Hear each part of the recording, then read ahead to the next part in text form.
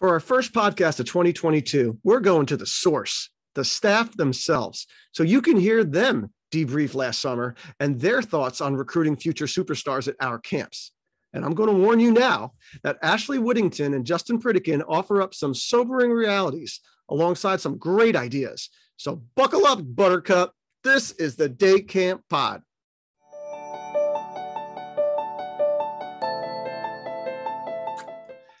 Welcome back to the Day Camp Pod, a place for discussion, stories, and best practices for day camp pros across the world. I am Andy Pritikin, director of Liberty Lake in the Philly suburbs of New Jersey.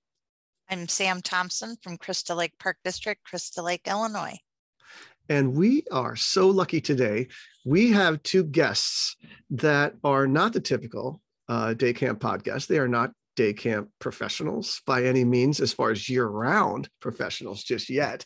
They are seasonal professionals up to this point in their lives. And we brought them in to get the perspective of young people because when you listen to a whole bunch of 30, 40, 50, 60 year old people talking about what they think about the experience for young people, that's one thing. But to actually hear it from the mouth of babes, that's what we're looking for. Maybe that's what we'll call the episode, Sam, from the mouth of babes. so, um, so let's have them introduce themselves. Ladies first. Ashley Whitting- Whittington um, why don't you tell us about yourself? Hello, my name is Ashley Whittington. As you just said, I am a freshman at University of Wisconsin Oshkosh. So I'm 18, and I have been involved with the Park District since I was four. Gone to camp every summer, hmm. hired as soon as it was legal in Illinois, and I've been working with the Park District ever since. Right, right. So, um, so what do you do what, what did you do last summer at, uh, at at the Crystal Lake camp, and what are you gonna what do you plan on doing this summer there? Last summer, I was a camp counselor for our Pee Wee campers. So those are the children going into kindergarten and first grade. My I had about six kids in my group, and this summer I plan on doing exactly the same. Oh, that's nice. So, um, honest, honest question. Okay, I'm looking for an honest answer. How was your summer last summer? I think it was simultaneously the best summer and the most stressful summer of my life. Um, mm-hmm. Like why? Why was it so stressful? My kids and the like, the, just COVID kids, their behaviors and not knowing how to listen or interact with other kids. They haven't been around other kids, and we could see firsthand when we normally would see like normal social cues and they just didn't pick up on it or they would just start hitting as a mm. response mm. to something they didn't like. And it was really stressful having to deal with that every single day and multiple times a day with the same kids who don't understand that they can't do that and they're just not listening. Yeah no this is this is a crisis we have going on here and especially for little ones who never got to learn it. There's no doubt about that. Um, did you work in 2020 yes i did so, how um, would you compare 2020 to 2021? At least in 2020, the kids, uh, or in 2020, I was working with older kids, so they they knew their social, they knew what to do. I was working with the kids going into fourth and fifth grade, and even sixth grade, so mm-hmm. they had already been socialized. And the one day that I subbed with the with the littles, um, they it like one of my kids this summer didn't even know how to use scissors. He had never held scissors before because they didn't learn because he didn't go to preschool. Mm-hmm. So I don't know. It was it was about like that even last summer, but this summer something about it. It was it was worse yeah. than last summer. Yeah, no, there was a, there was a lot about it. What what about your own like mental headspace? Like, do you think that you were like, you know, where do you think you were at like mentally, you know, when the summer came? Uh, I think the first week and right around the middle of the summer, I was uh, right along the rest of the counselors. We were really contemplating it, like even just quitting because we didn't know if we could do this. I would, uh, one week when one of my campers was having bad day after bad day, you know, right up after right up, I would, I would like cry before work and the night before, like, I don't know if I can do this again over and over again. It's the same thing and it was really hard my even coming home at night and i was or at 3:34 and I was so exhausted. I didn't even have the energy to have my summer some days, you know. Yeah. Yeah. So you had you had just come off of your senior year of high school, which I'm guessing was mostly virtual, right? Yes. Yes, it was. Right. And then next thing you know, you're outside, you know, in the heat, dealing with it. Right. Sam told me about those little bugs in the lake. Yeah. Swimmer's itch. Yeah. Yeah. Um, you, so you, did you even get like a prom and a graduation or anything last Um, year? Our our prom was on the tennis courts and it was socially distanced and our Oh my gosh. graduation was split right down the middle. Um so we had to pick a time slot and it was outside on the football field.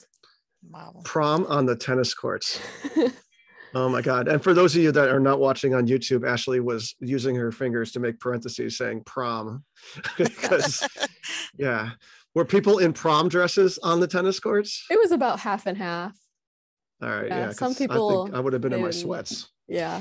So you went from personal stress and things not being normal and not getting to hit those milestones that you always thought you were going to hit to right into dealing with all these kids who didn't get normal and didn't get preschool and didn't get and you know don't understand the social stuff. So, Exactly. yeah. Right right at the most crucial time too. Right when they need to be learning all of these things, they they skipped right over it and they were just around their parents for years. Yeah. Right. So, so not to, not to condemn, you know, your, your camp by any means at all. I'm not looking for that, but like, what was it? Like, did you feel like you were getting support from like your supervisors and stuff like that? Because I mean, to me, everybody was in such a tough mental state that most people felt like they weren't getting support. I was a camp director. I, didn't, I wasn't getting support. And then like the next level down, they didn't, you know what I mean? Like all the way down to the Mhm. front line, you know, and Sam and I have been talking all, you know, since the fall that that's our big commitment is to supporting our staff. So I'm just wondering how, what it felt like from a frontline person who was struggling every day. Like, you know, what, what was, the, what was it like with your supervisor as far as that? I know that for me personally, I I really lucked out with my director and assistant director. They were there in a heartbeat. Like if anything went wrong, they're there to help. They're there to support. They know just what to say and they're telling us how to how to help next time and what to say. Um but I know at least people that we're fr- friends with in other camps at, at the park district they didn't feel like they were getting enough support if they asked a question they weren't getting clear answer um Yeah, but it- it's Pee- hit or miss. Yeah but pee-wee camp they were great we needed it and if i didn't have their support i don't think i would have made it through the summer Oh, that's awesome. All right, that's great. All right, so um, let's introduce our next guest. His name is Justin, and he's got a similar last name as mine. So go ahead, take it away. Yeah, uh, my name is Justin Pritikin. I'm a senior at Villanova University. I study human organizational development. And uh, yeah, I've worked at camps for the last six years, including sleepaway and day. And I've been going to camp since I was two. Um, and, and what did you do last summer, Justin? Why don't you tell everybody?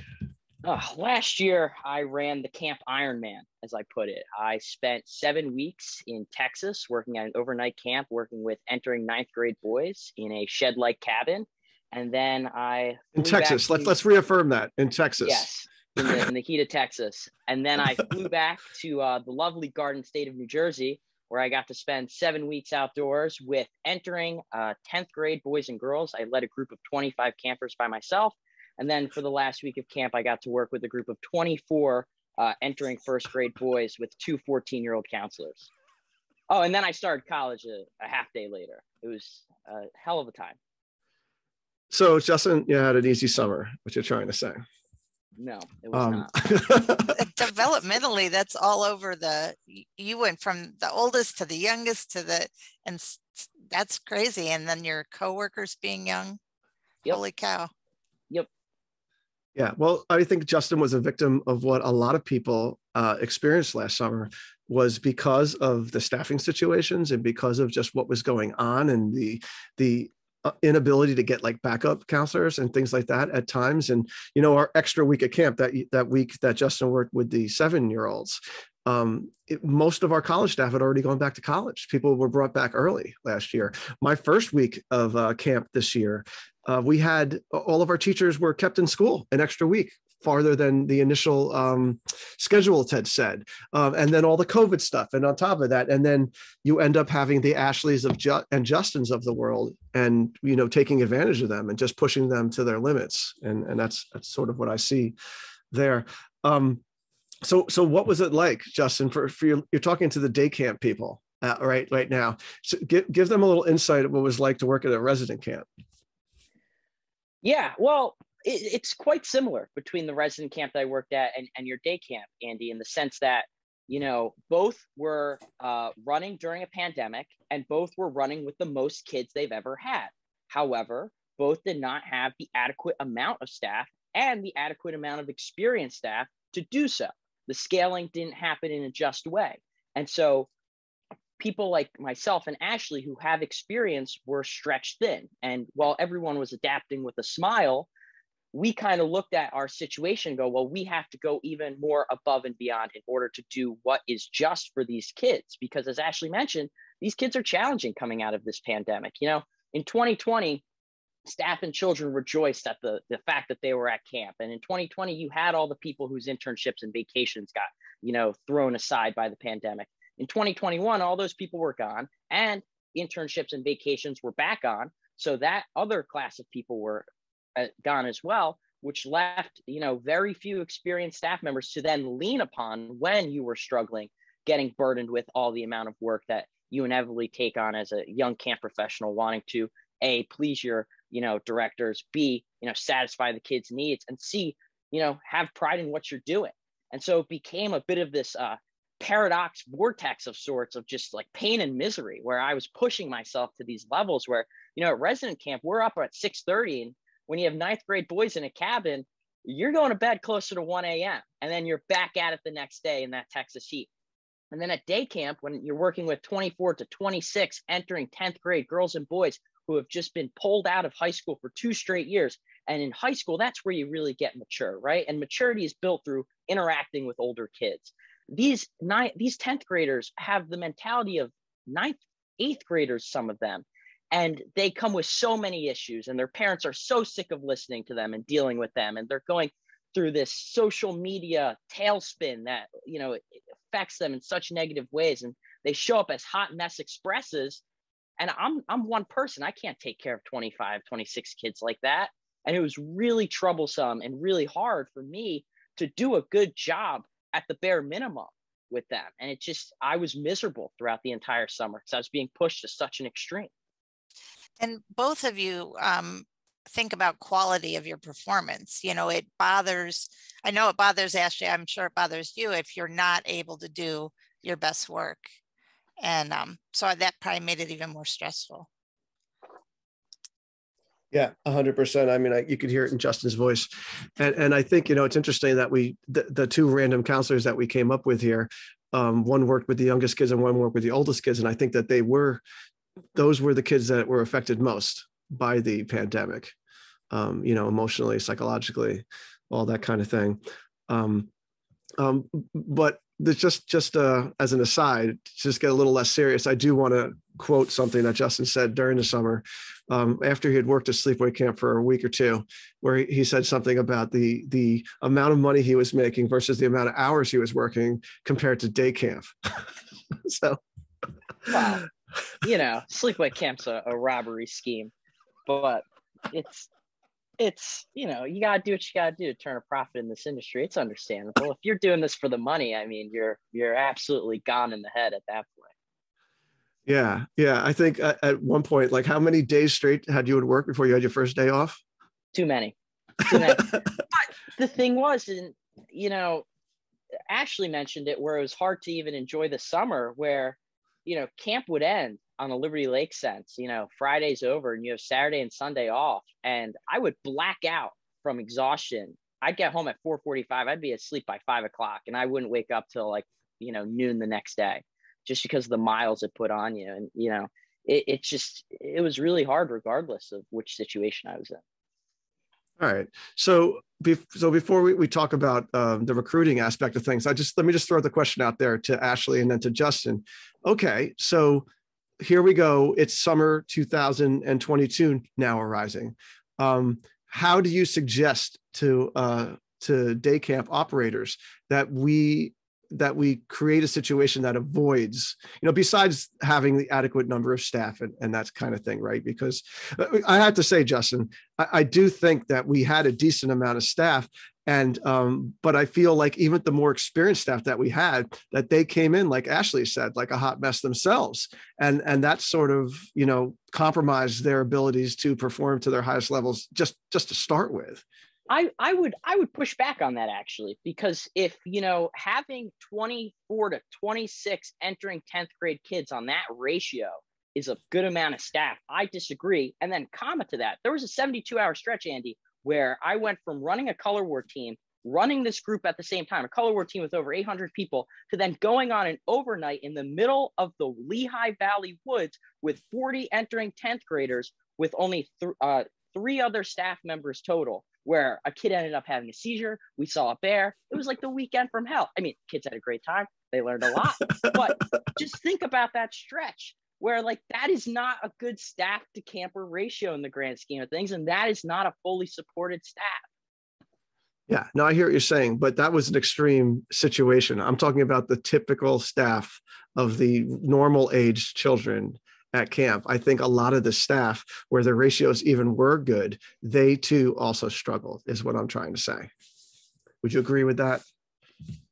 I, I think there was a pandemonium across the board. Uh, know, a rising tide raises all boats, Andrew. All right. So, um, so, so then, so, so, what would you suggest to uh, these kind of camps that had these struggles with these staffs for next year? What would, what would you suggest? Like, you know, top of the list you know that they should be focusing on for next summer to help support their staff? I'm asking you first. Yeah, sure. Um, it's it's it's it's a really crappy answer, but it's more staff. Um, and you, you mentioned it as an aside, where like you know you know having more staff is a given and whatnot, but that's really what it is. Less of a workload. You know, you shouldn't want to show up to work going, "Oh my God, I have so much to do that today's going to be awful." Right? You want to show up positive. You want to you know be working in of course a trustworthy and a collaborative environment but if you're not happy you know there's a problem. And i think a lot of the unhappiness that happened from especially veterans last year was they just didn't feel supported because they had too much to do. So taking it off their plates. And i think that a really negative impact of last year with the support thing is that every year you have that you know percentage of camp staff who say another year another year another year I think last year was such a burnout and a, you know, just let's make it to the finish line kind of summer that those people are done. Like they're not saying another year, they're toast. And so to make sure that we can, you know, recapture that essence of, you know, yes, this is a really fun place to work. In order to do so, people just need to have less on their plate. Mm-hmm. Yeah. And, and better ratios and all that kind of thing. No doubt about it. Um, Ashley, what are your thoughts on that?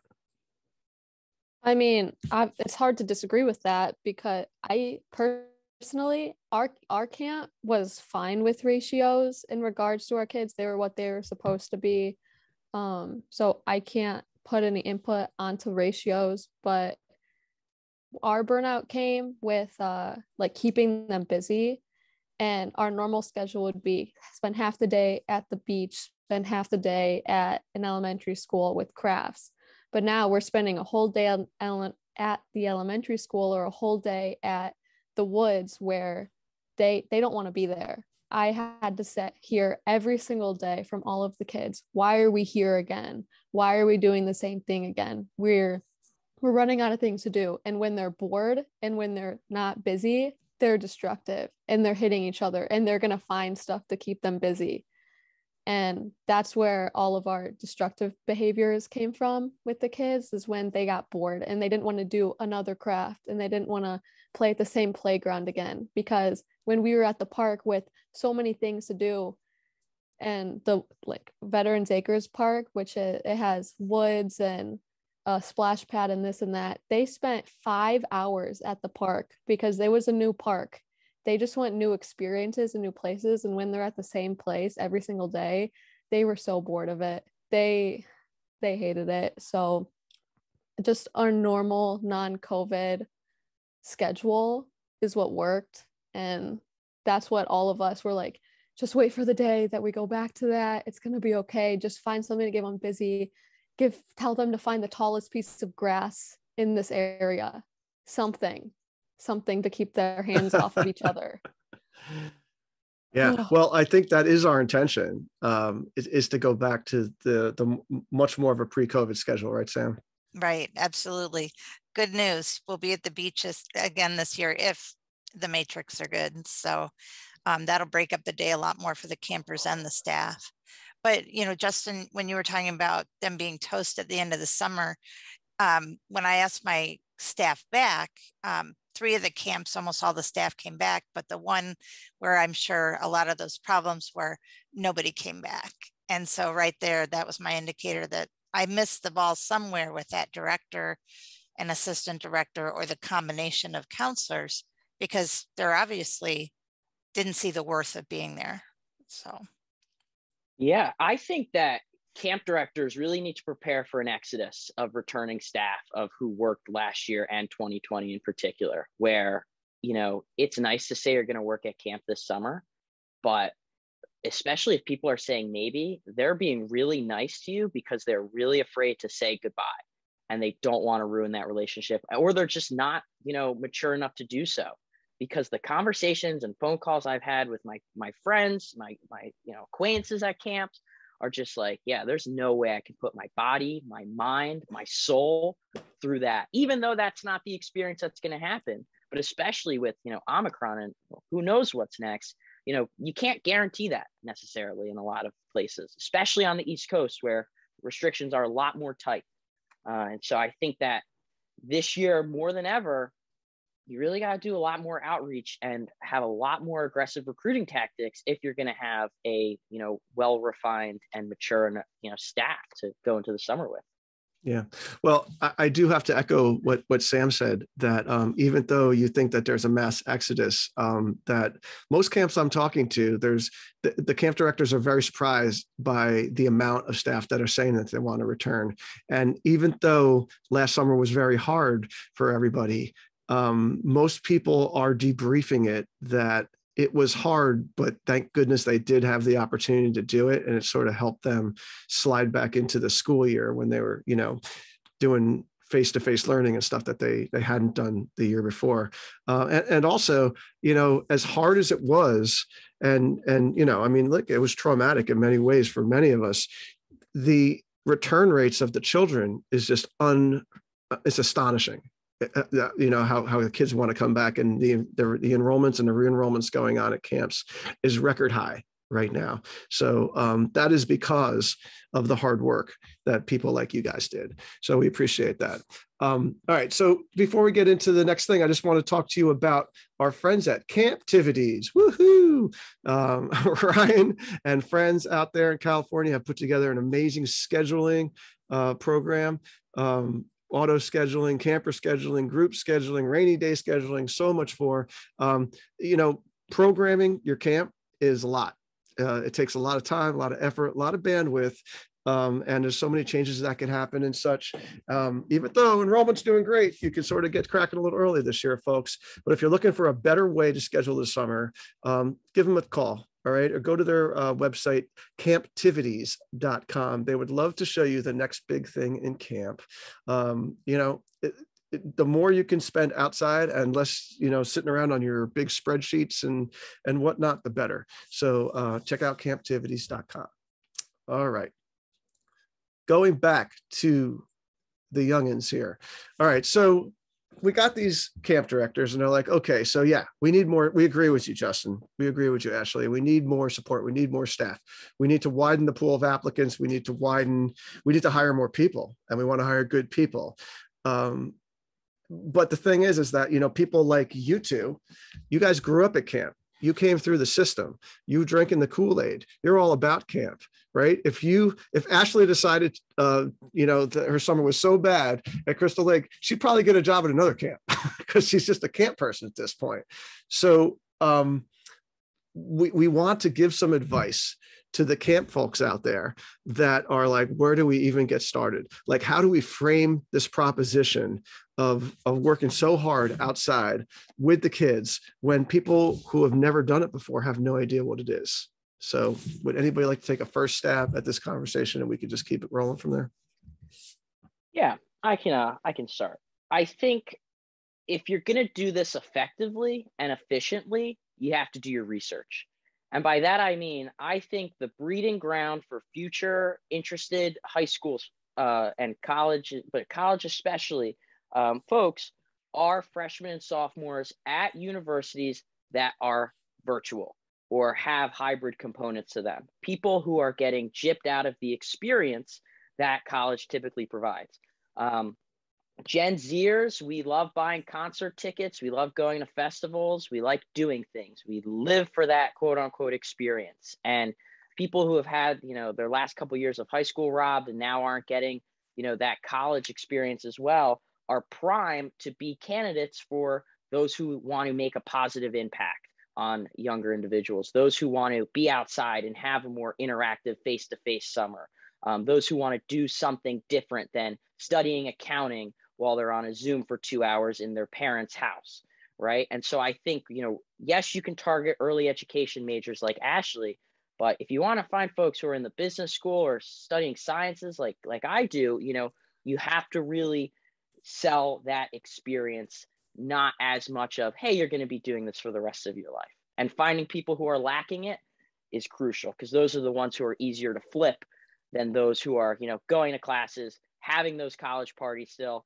and then going, oh, I'll go to my internship and move on from there in life. Well, I think most colleges are back face to face. So, so what aspects of the experience are we talking about, Justin? When it comes to camp, yeah. Well, you know, impact's a key is a buzzword. It's a real buzzword for Gen Z people. It is. We love making we love making an impact, and so selling about how you can be this positive force in someone's life because um, we've talked about how you know ultimately disturbed some of these kids have become from the pandemic and how you can be that ray of sunshine for them for those eight nine weeks during the summer. But also how you know you're going to meet so many other people your age in such a fun you know college like setting that it's just going to be really conducive to your social happiness as well. Uh, and i think that with that you know you want to really weed out people who would be interested or not by being upfront with your salary you know, the first thing I look at when I'm applying for full time jobs or even part time jobs in college is how much money I'm going to make because it's not something I, you know, jump out of my seat to do every day, like working at a camp. And so, you know, if someone has an issue with the salary or, you know, you find folks from a particular area having issues with salary, move on from that zone in particular, because I think that I've had so many, you know, doing for you, Andy, interviewing people from certain schools or from you know certain backgrounds who are just like oh no the salary's the the line for me. I can't do that. And i think that sometimes we get a little stubborn and go well they're close to us. We got to keep we got to keep pushing it. What do you mean by that? They're close to us. We got to keep pushing it. For instance if you came to villanova and was like hey you know liberty lake's 30 minutes away right? It's it's not going to happen because these are the kids who are working at goldman sachs going into their sophomore year of college right? These are the kids who are, you know, keeping up with the Joneses in regards to what others are doing. And I am not a mockery, but I am not looked high upon for working at a summer camp all my years in college, right?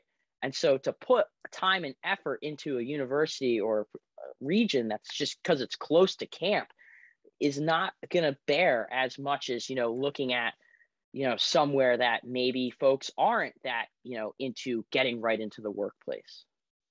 All right, let's let's pause on that. Ashley, what what are your thoughts on this? Justin is such a good he he has a way with words, you know. so he he puts everything so nicely and I think that a lot of camps tend to get people that live in the area because summer camps are not known to pay very highly. Oh, you're not like the 30 minutes away, you're not going to get somebody who lives very far because at that point they're paying for gas, they're paying for the drive there and back and so recruiting wise it's it's a good sell for people who live in the area live nearby. And you can do that by even making a night like getting somebody who who knows their way around photoshop who knows how to make a make something look pretty a nice advertisement. We have posters up by the beach that the park district owns but you need to get into the high schools get into you know start start planting your seeds. This is a great place to work. It is the experience. You're going to make lifelong friends. You're going to meet kids that are amazing. Um, and even our local college too talk to the to the teacher. Hey uh, i have connections. Do you think you could mention that we're hiring here? Do you think you could you think you could just tell your students hey you guys looking for something really cool? Because then those students are like huh i like this teacher i trust this teacher that sounds like a good idea and i'm actually looking for a job right now you know mm-hmm.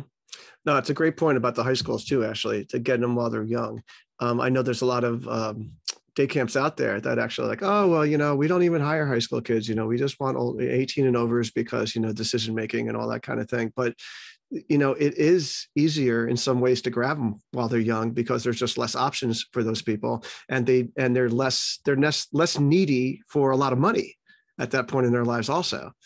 Right. No um, rent and all that. And when you were talking about the money earlier, I um this year I'm actually going to get to give hopefully a three dollar raise to everybody. Shh, don't tell. Per hour, per hour, per yeah. hour. But the reason I didn't tell ahead of time is I wanted people to sign their contracts not for the money. Mm-hmm. And so I kind of waited to see, you know, who said they were coming back because now those that didn't say they were coming back, when they hear there's a big raise, if they show up at my door now, I'm going to want to have a discussion yeah. about is that the only reason that you want to return? Because that's not really the reason I want you. True. So, anyway. I got it. So, so Justin and Ashley, so uh, you know, Justin talked about like, well, you know, there's a lot of kids in college and they have big plans. They want to work in investment banks and all kind of stuff, right? So whether you're at Rutgers or Villanova or Wisconsin or Indiana, I don't think that makes a difference. I mean, there's you know majors. There's there's 70 different majors at your college, Ashley, probably that you could be, right? So um, I think, don't you think that camp offers leadership opportunities that are important at any for, for any major that you're doing? I mean, of course, it helps give people the opportunity to work with kids and see. I've had some people say, I love kids, but I don't know if I want to be a parent now because I have this experience, but I don't know if I want that every day. Or people saying, I think I want to change my major. Just any leadership experience. And it helped, like being able, you have to be stern with kids or else they're going to push you around. They're not going to respect you or listen to you if you don't set your boundaries with them. And then you realize, huh, that'll work in real life too. I need to set my boundaries with other people yeah. and then I can take charge and do the things that I need to do. 100%. Yeah. Yeah, it builds leadership skills. It it definitely does. I mean, I have been born and raised in this E21 Michael Brandwein era uh, you know, not going to traditional school growing up and really only having camp as my outlet to grow as a, as a person, um, especially social skill wise. But it's not a good recruiting tool, I think, because it's hard to believe unless you've done it. You could say all you want, but camp has a perception of being wet, hot American summer to those people who've never worked at camp. And so when you say you're going to become such a great leader, you know, it kind of falls on deaf ears. And then the other part is, and I, I've heard it on this podcast, but I've never been able to rebut it, is you know, you talk about putting camp on a resume. I'm applying to grad school and jobs right now. When I lose room because I have to put other things, camp gets cut because on an industry outside of, you know, recreation, it's not seen in the way that it's seen to camp folk. And I think that it's it's a real lost cause to be going up to you know 20 year olds and saying hey man really you're going to grow your leadership skills by working with this because to them they just don't see it that way. And until you go through it you're not going to see it either. Justin is actually applying to work at lululemon so that he can get other things on his uh, on his on his resume besides look camp. i also want that in, i want that store discount okay? Let's make our priorities clear there. So um this is one of the only jobs where you're having to really think on your feet all the time. How do we express that? Um, not only to recruit people, but those of you who have stuck with us, how do we explain how to explain what camp is to people on a resume or whatever? If it doesn't get cut, it actually has so many skills, but how do you translate it? How do we let people know what it is you guys went through? I mean, I think that no matter what you choose, all a lot of jobs are gonna tend to blend together. I'm working with other people, I'm thinking on my feet, I'm doing this, I'm doing that. And a lot of resumes just kind of start to like blend in regards to the service industry, you're working around other people. It's gonna you're you're taking from what a lot of other people are already seeing on resumes, on job descriptions. So you're going off of your what Justin said, your your notion about what you already have about what's going on. So it's it's hard. It's hard. I would also just like to rebut Justin's rebut in that um, if you go to an interview and that person that is interviewing you has ever worked at a camp, I think working at camp goes a heck of a long way because, like you said, you know, most people haven't gone to camp or worked at a camp.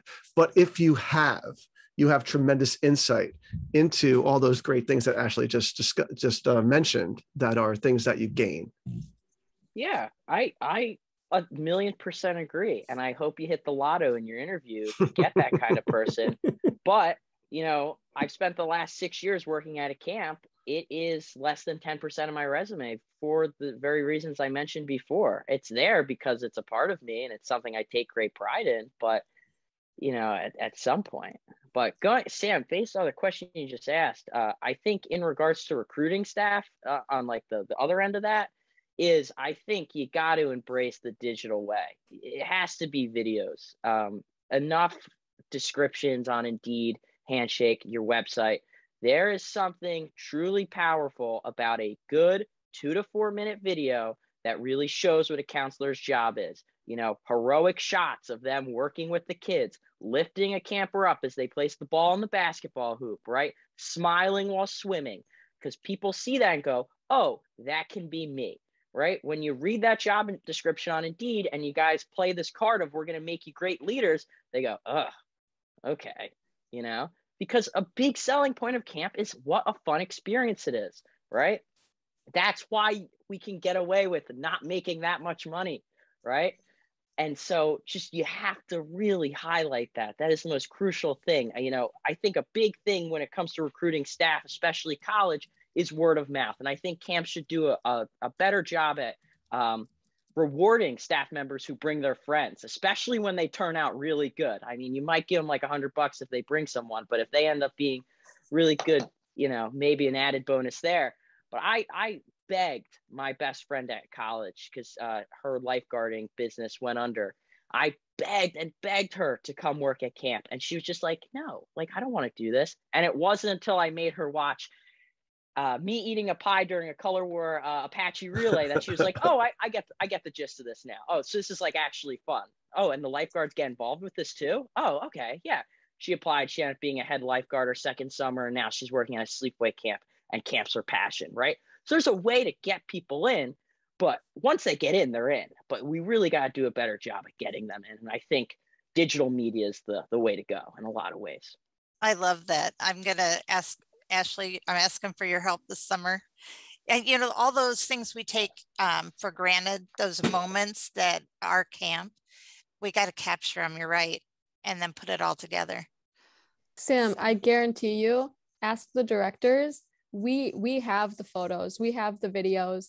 Our rule was you can take a photo, take a video, send it to the camp phone. It'll go to a parent. It'll go to this or that. And like when we were in Pee Wee camp, when I was in camp and they had the dispos- disposable cameras, we would get those photos at the end of the summer of us having fun. And I got to do that for my campers this summer. So put them out there. Awesome. Put them out yeah. there. I got to put that together for sure. I like that idea a lot. Yeah. I mean, what Justin's describing, I mean, this is the Instagram, TikTok generation here. This is how their brains are wired, right? This is how they receive information. Right? Am, am I am I saying that right, Justin? I mean, I think that's right. Well, yeah, and let me let me bash my own generation here for a second. This is the TikTok, Instagram generation that loves posting about themselves, right?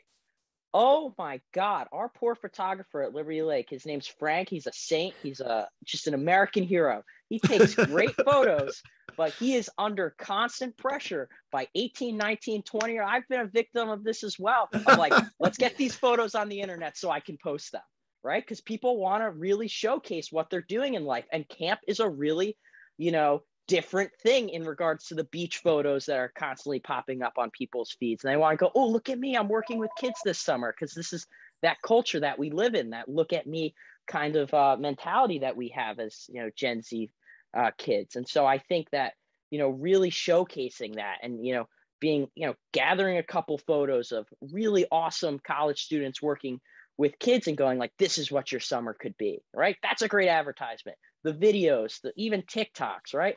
don't make weird, cringy TikToks. No one wants that, right? But if you make really, you know, I guess the best term to describe it is cinematic, right? Or a heartfelt ones, that captivates an audience. You know, I, I work a busy life at Villanova. I study a lot of things. I do a lot of extracurriculars. I still find time for an hour of TikTok a day, right? And it will it will make its way to the people who who need to see it eventually. An hour, my gosh. So um yeah, yeah. Just to exemplify what Justin was saying, I think it was the last day of camp, and Frank wasn't there, and Justin was like, "Dad, meet me at the pirate ship at two o'clock. There's going to be 20 kids with eye patches. They're going to be super cute, and we're going to be doing this, and it's going to be amazing. Get there." He was like directing. Look, I, I became the group leader and camp photographer in that moment. I knew we had uh, we made a lot of parents happy. It was, it was a very adorable uh, pirate party that was going underway it was super cute. I do have to. They even they even slayed a dragon. It was super cute. And you know, we do survive on referrals on friends of you know. Once we get good staff and they bring their friends in, and you always have to warn them not to bring their drinking buddies, but to bring their friends that will make them show up as you know being good. Um, and if they stay, that that's a hard part for me. I'm a park district, so no no money there. So for paying for referrals has never been an option. So I'll try to think of creative ways to make it worth their while for bringing in their good friends, other than them having their group of friends right there at camp with them. So extra staff shirts. Yeah, I know that's what I was gonna say too. More staff shirts. Did you like the one you got in your care package?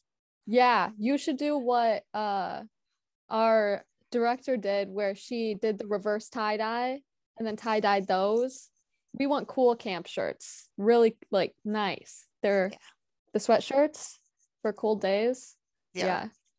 Ashley hit that on the money. Camp's got to do a good job at making cool merch. I, yeah. I worked at Sleepaway Camp that had over, I would say, 40 different apparel items, like different designs. And it was, it was great. I wear that stuff all the time at college. It works. Mm-hmm. And then they see that, or you're at the store because you're like, okay, this is a fine shirt. I'll go out in public in this and then they somebody sees it and then they go up and ask you a question i've had people ask me questions before if they see me in a in a staff shirt gets nice. people in the door interesting all right so really quick guys so if camps were looking at a college right and they're thinking low hanging fruit like where's the first place i should be looking for staff besides of course education majors okay i mean think about clubs right think about you know that kind of thing like where would you suggest that they be knocking on doors at you hit that right on the head, Andy. It's student organizations that are rooted in service, right? That's the key word, service. Um, where there are so many after school programs, at least at the school that I go to, that work with tutoring, playing with young kids in the Philly area. And that is like perfect. You know, anyone that's giving up their time to work with others um, is the type of person who is going to thrive in a camp setting and environment and really, you know, get down to work when it it need when the time comes. Um, but additionally, with that, any other organization that um, is very outdoorsy, right? The Outdoors Club, the Rock Climbing Club, these are where you can find some really awesome specialists or activity leaders, whatever your camp calls, where you know you get the kid who is the vice president of the rock climbing club, and now you give him that rock wall to be the instructor of, right? Capitalizing on people's passions that are already in the same areas. The best thing to do to get that you know, business major or STEM person applying to med school is to be like, man, wouldn't you love to spend the summer doing what you love most, XYZ outdoors or sports activity before you go into the the dreary misery pit that is med school or, you know, the nine to five, you know, working day on Wall Street. Um, and so I think that's a, a, really key ground that not a lot of people uh, capitalize on enough. Yeah, I mean, Justin does a lot of stuff at uh, college with the Special Olympics, and um, and would you think that like those kind of people would be good candidates potentially? I mean, they like helping people. They're working with with a lot of younger people. Yeah, I think it really helps to have an understanding of the institution that you are going to uh, be trying to attempt to pull people from. In the sense that at Villanova, it's really unique where Special Olympics is the largest club on campus. It runs the largest event for the university throughout its entire year. So it has the most students involved, right? I wouldn't go, oh, let's go for the Special Olympics program because there's 4,000 of the 6,000 people there. And I don't think all of them would be so like minded to want to then take their talents to a summer camp, right? So, really, you know, when you make an approach, make a real educated, you know, move towards a college. Don't just, you know, shoot your shot and hope that something comes back. You got to be strategic. You got to be targeted with this, where reach out to the Office of Student Involvement at that place. Find out, you know, what these uh, individuals who are in these programs are most often doing outside of them or you know what's the makeup of these you know organizations because i think that especially when it comes to finding diversity with staff if you go up the same certain avenues that camps have traditionally gone especially with early education you know it, it's not going to yield you a, a very eclectic group of people yeah, that's a great point, Justin. Um, I was having this conversation with a college student yesterday. I was asking her a question about that as far as diversity goes, and she had suggested that there's always a multicultural club at uh, at colleges, and that these are tend to be the kind of uh, like-minded people that might be into it. Not even just that. I think every every college that I've had the opportunity to work with in the past year has a DE and I program, task force, or something built in that is student run through their student government association. And personally, I hate having to go through the bureaucracy that a lot of uh, higher education professional professionals provide when working with them. And if you can just tap in right to the source of a college student, and if that means having one of your college student staff reach out to a you know a fellow college student at a different school, going, "Hey, can you put me in touch with this person? I'd really love to talk to them about you know promoting you know what we're doing because we have so many ideas and we'd love to get you know some of your students involved with it. I think that is that is the way to people's heart because i am bombarded with emails from higher education faculty of like hey look at this job. Look at this and i don't open them and i'm looking for jobs right it's when someone goes hey i think you'd be really good for this whether it's a professor whether it's a friend who saw something um, or heard of something that you know gets more of a response rate make it personal that's what I'm hearing. Yeah. Well, referrals, exactly. not not spam. Mm-hmm. Right. What are your thoughts on Ashley on low hanging fruit at a college? I mean, well, it's you already have the people that went to camp who want to do it. And like Justin said, you're going to the student organizations, pick your student organizations well. And I do like the idea of going to the multicultural organization just because at our camp we know that we need it to the two pe- people of color at our camp all of the kids like gravitated towards them they didn't leave their side follow them around or even men like they kids they they're around women so much because a lot of camp counselors are girls they just like men boys they like being yeah. around them and I I don't know how else to put it. Especially with your age group, it's hard to get the guys who will work with the youngest ones, but the youngest ones really need the guys too. They really appreciate having the male counselors. Uh, those are great points. Great points. All right, I'm going to do a quick little uh, tell about my uh, my friends at CRS, and then I'm going to come back and ask you guys. All right, this is a little bit of surprise. All right, Ashley and Justin, to give one little activity you did with your kids this summer that was just awesome. That was a great thing that you can recommend. Ashley for the young kids, Justin for the older kids. All right. So my friends at CRS um, commercial recreation specialists. They are the fine purveyors of the best recreation solutions to keep camp going strong. They make all kinds of water equipment like the Wibits. And well, they don't actually make anything. Here's a secret about CRS they are middlemen. They find all the best stuff and then bring them to camps. So that's actually part of the of their magic is they're sort of like camp consultants for purchasing right? For stuff like waterfront activities, for splash pads, for even pools, for playgrounds, um, for for athletic stuff. Um, they have this uh, Recrosol stuff that's um, that uh, is a disinfectant kind of thing. Um, you will see them at all of the um, camp conferences because now we're going back to face-to-face camp conferences. Okay, hopefully I'll I'll be in Portland next month and then at Atlantic City a month later. Um, check out my friends at CRS Recreation Pro. Uh, they, they got the lightning detector. They've got uh, sound systems. They got all kinds of really cool stuff. Rich and friends are killer. They're great. CRS4rec.com. CRS is serious about fun. All right, Ash, we're going to go to you first. Talking little kids. All right, so you have 10, 15 minutes with these kids. Okay, it's one of those come on you need to do something. These are all new kids. They've never done it before with you. What are you going to pull out of your bag of tricks? Okay so with little kids it's it's keep it simple. If you're trying to do something with setup their their attention span's already gone. They they don't want to do it by the time you're setting it up. You need it to have have that ahead of time. You you find toys. That's it.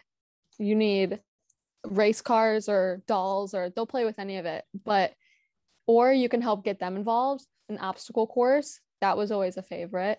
You grab hula hoops, you grab cones, and you say, guys, we're going to make the best obstacle course ever. And then I'm going to time you because kids, something about being timed, they'll go for it every time. You say, I'll time you and see how fast it takes you to run to the door. I'll time you and see who can get back to our table first and drink the biggest sip of water.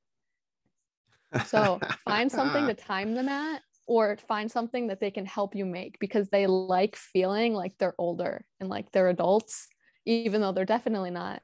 They like to be able to to help with something. Ashley, you are a true Sam Thompson disciple. I, I, you, you seriously, you have you have you have put forth the spirit of Sam. that is really, really awesome. A timed obstacle course using anything you got laying around, basically. String. They can jump over the string. string is great. You should always keep string in your backpack with little kids, no doubt. All right, Justin, what you got? Well, it's hard. Um, I I spend my time running leadership workshops at camp. So everything that I do has, you know, a you know you set it up you do it and then you debrief it. And so in regards to that with older kids um, my my favorite i look forward to it every year is it's a game called witches. Um, how it works is you give everyone a and this is a prepared one then i'll give you a quick one on the fly. You give everyone a note card that has a townsperson's job and description of what they can and cannot do. And you tell the the crowd of kids that you know we gave out three note cards that are witches right? And the goal is you're all going to mingle for you know the rest of the period and try to find out who the witch is right? So some students are the mayor some are the sheriff some are you know the the weavers the who met whatever jobs from medieval times right? And they spend the entire time trying to figure out who the witch is and then they they all huddle up at the end and we go all right nominate your three witches and what ends up happening is it's the loudest voices that pick the three witches and we we burn them at the stake and then we tell them that we have them reveal what they are and truly no one was a witch and the lesson is that you know sometimes adults are wrong and you shouldn't really listen to them and you should maybe you know second guess stuff and you should be more trustworthy of others but also you know especially with 15 year olds you know there are those uh it tends to be the people that get burned at the stake are the really quiet kid and the mean girl who no one really likes. Like ah let's burn her. She's a witch. Uh, and so it's a good lesson in being like you know what? Maybe slow down a bit and maybe you don't have to burn a witch. You know maybe break the mold when you're caught into a double bind. Um, so i really enjoy that one. But as a like quick game with older kids uh, one of my favorite is running charades. It's really easy. Uh, you split them up into two three four five teams you have a list of 10 things. They're all lined up um, by their team separated. They run to the person who's giving them the clue. you know, I always try to make it fun. One of my favorite clues to give is Grand Canyon and have a kid act that out. That's always really funny to watch. Um, they act it out, then they run back, and it's just a fast moving charade. Once they move through the list and they're all sitting down, a team wins. That's really quick to do, especially with like fifth grade up. Kids get into that. Excellent. Excellent. Um, I really appreciate you guys' time today. Uh, thanks for hitting us up. Justin, I know this was the last day of your uh, winter break, right? Officially. Uh, you know, did you go back on Monday? And Ashley, I'm sure you go back soon um, to nice and warm Wisconsin, right? Don't mention it. Don't mention it. All right. Well, I want to thank the Go Camp Pro team, commercial recreation specialists, and Camptivities for bringing us bringing you guys this podcast, uh, helping pay for it. So if you like what you hear, you should subscribe to the Day Camp Pod on your favorite podcast platform. Check out the show notes for this and other episodes at daycamppodcast.com, as well as contact info for the show, our guests, and my wonderful co-host Sam and Tiff. So listen uh, to the next one. It'll be coming in a couple weeks. We'll be back. Uh, thanks a lot. Um, sorry your school breaks over, guys. And thank you so much for all the info and the honesty. We really appreciate it. Uh, and hopefully next summer will be an easier one for you. We, I, I, I promise you that for Sam and myself and for the vast majority of the camp professionals out there, we are committed to making 2022 a much better summer for our staff. So take care, everybody.